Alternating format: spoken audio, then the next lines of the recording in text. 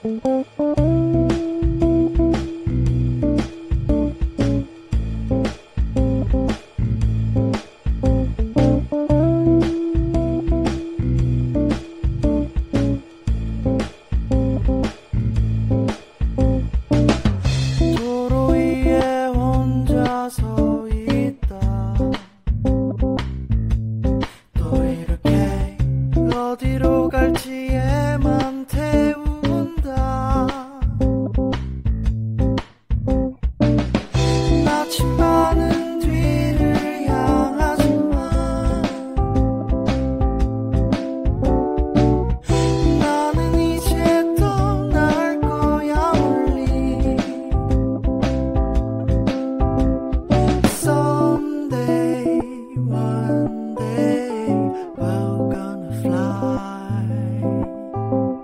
So